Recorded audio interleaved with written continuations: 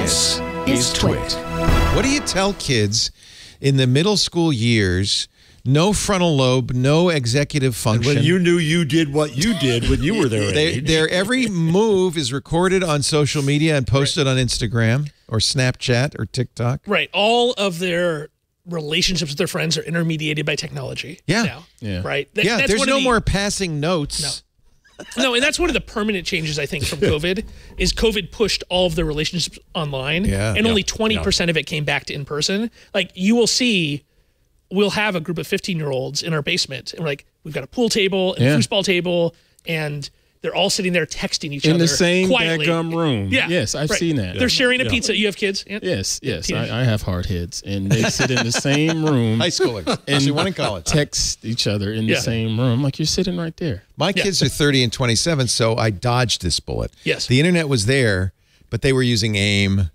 I, I even thought it weird. There, she would do. My daughter, who's 30 now, would do her homework with music and AIM, Yeah. and a video chat going on and all that stuff. But Right. this has gone beyond But that. she didn't have a phone in her pocket No. with a camera. It's Big the camera that puts gets them in trouble. the camera. right? Yeah. Um, so, you know, so when I talk to the kids, there are obviously all kinds of bad things that happen to kids, but the the really horrible, tragic outcomes, right? The, um, you know, I'm not going to name any of the teenagers, but I, I, when I teach my class, I talk about teenagers who actually ended up taking their own lives while I was CISO of Facebook, right? Due to them being oh, exploited in some my way. God, yeah. And those situations are because the kids didn't have anybody they could turn to that they felt that they could talk to once they made a mistake, once they kind of Right. slipped up a little bit, that for them there is no outcome other than to take their own lives, right? Um, and uh, and so I think a big thing that I say to the kids is one of the metaphors I have is I, I ask the kids, um, has anybody here ever been really badly hurt, um, had an accident? And one kid raises their hand. I'm like, yes. And he says, oh, I ran through a plate glass window once. I'm like, whoa, okay, that's a good one, right? Like a, a glass door. Um, was it scary? He's like, yeah, I was covered in blood. I was bleeding everywhere. And the kid's like, ew, you know. cool. Yeah. Um, and I ask him, so when when you did that, were your parents angry at you?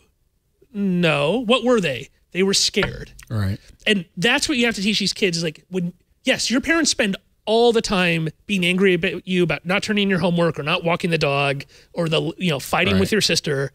When you're in real trouble, your parents want to protect you.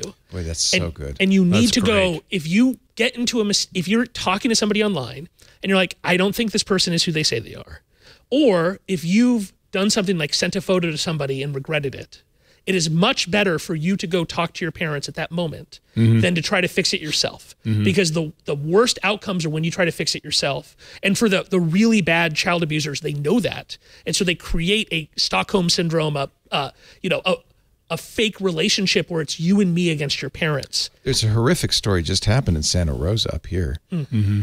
Teenage girl catfished. Yes. Guy figures out where she lives, comes to her house, kills her mother and her grandparents, and abducts her and drives off with her. Wow.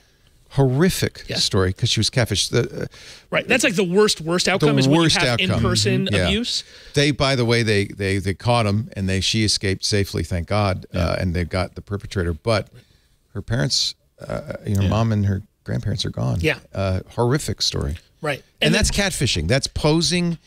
right. So as it's somebody else. catfishing, and then the where catfishing often goes, where it becomes really harmful, is called sextortion, where you trick a kid into giving you a naked photo, and then you leverage that into more and more control over their Right. behavior. A parent, good friend of mine, just happened to a 17 year old. Yes, it's extremely common, um, and that's where you need to teach your kids. One, you know, it, you don't want to be victim blaming, but you also want to teach kids like you don't send naked photos to your friends Ever, ever, ever. It- it's like you have to teach. One, you have to teach teenage girls that teenage boys are idiots, right? Like I don't think they understand how dumb we were, and maybe still are, but certainly how dumb I was when I was 15 years old. They have no.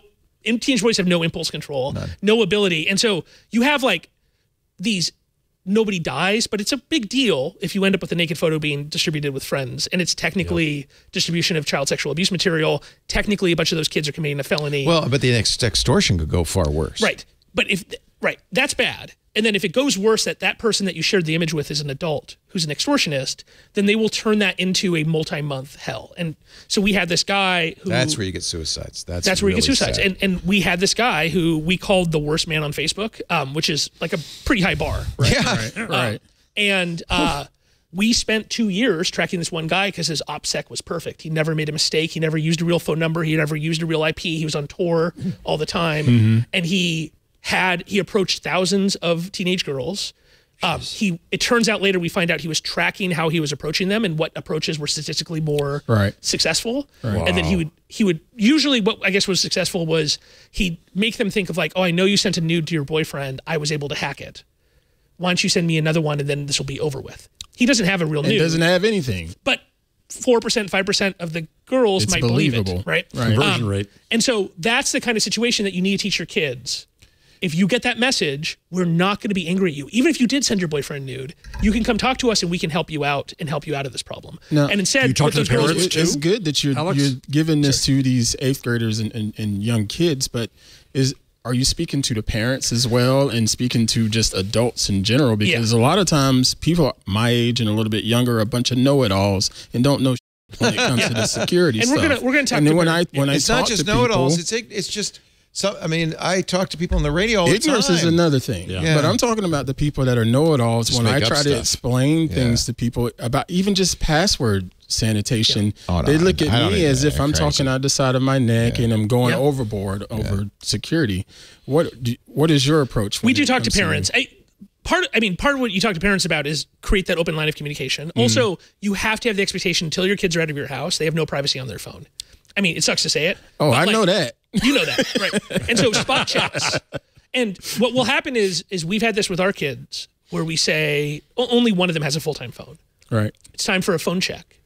And they will preemptively admit something. Now, so far, everything that's been admitted has been kind of small potatoes, Yeah. right? Wow. But that's you want that You planted the seed. yeah, you planted the seed. And you create a situation where like they now have permission almost to share with you, right? Mm-hmm. So yeah, I mean, I think for parents, part of the problem though is the technical controls parents have suck, right? Like the the the good thing that Apple had, Apple's finally made some progress here, and I think Apple's the company that has the most opportunity, at least in the U.S., because they dominate, you know, teenagers Right. um, is you know they now have the ability to classify photos as they leave your kid's device to see if they're naked photos Right. and to stop them from leaving the device. This was very controversial when Apple proposed this. well, there's two different things. There's a part where they're actually scanning your photos yeah. as s on the device, Right. And I opposed that much so much I wrote a New York Times op-ed, remember. right? So I, wrote that. York, that part, but at the same time they announced something that I think is great, which is you could say this is a kid. They should not send naked photos. This is totally in the hands of parents. This is totally not going back to the corporate or Exactly. anything. And right, and it never calls the cops. Yep. It never does anything. It doesn't even even tell the parents. Right. It just stops the photo from being sent. Right. And, it, it even warns kids. Are you sure you want to Right. send? It's good. It's actually, I think, well done. Right. And I think those kinds of interventions. Parents have to turn that on. By the way, should mention that. yeah, you have to turn it on. It's in. I think it's under screen time settings, Yeah. and and so I think setting the screen time settings. So the other thing for kids is teenagers want to be on their phones all night. They don't get any sleep, and so having the phone turn off at nine or ten p.m. wh- Whatever That's you. good for adults. Yeah. Yeah. No, I think so. I hate to tell you. no, I, I'm I'm bad at that, but at least I could fix my problems with my kids. Right. Um, You know, doing the screen time limits and then having no expectation of privacy. And I'd like to see companies get more aggressive about those kinds of limits. On hey, it looks like you're sending a naked photo. Is that something you really want to do? Here's some things that you need you should read first Right. before you do that. Right. And to at least like because again, you said no frontal lobe. Right. Like their decision making is Just really create a friction. And so create that friction that they have to think about it. I think mm-hmm. is a, a good thing. Hey, folks, I'm Ant Pruitt, and I have a question for you. How do you think your hardworking team, with a Club TWiT corporate subscription plan, of course, show your appreciation and reward your tech team with a subscription to Club TWiT? Keep everyone informed and entertained with podcasts covering the latest in tech. With the Club TWiT subscription, they get access to all of our podcasts ad free. And they also get access to our members only Discord, uh, access to exclusive outtakes and behind the scenes footage and special content like the fireside chats that I enjoy hosting. Plus, they also get shows like Hands on Mac, Hands on Windows, and the Untitled Linux Show. So, go to twit.tv slash club twit and look for corporate plans for complete details.